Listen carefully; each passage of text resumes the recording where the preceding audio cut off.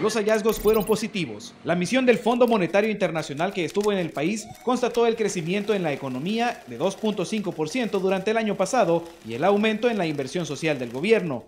Para el economista César Villalona, las conclusiones del FMI son apegadas a la realidad. Primero hay un reconocimiento de lo que ha venido planteando el gobierno en cuanto a que la economía está en crecimiento y con estabilidad, porque están los datos del Banco Central, reconocen un crecimiento de 2.5 y una inflación baja. En el comunicado, el FMI destaca los esfuerzos del gobierno para sanear el tema fiscal y recomienda hacer más ajustes en sus finanzas para reducir el nivel de endeudamiento, algo en lo que coincide Villalona. Lo que necesitamos es una economía con más consumo. Eh, el ajuste fiscal de dos puntos o de tres que proponga el fondo, yo lo, lo resuelvo vía incremento de ingresos.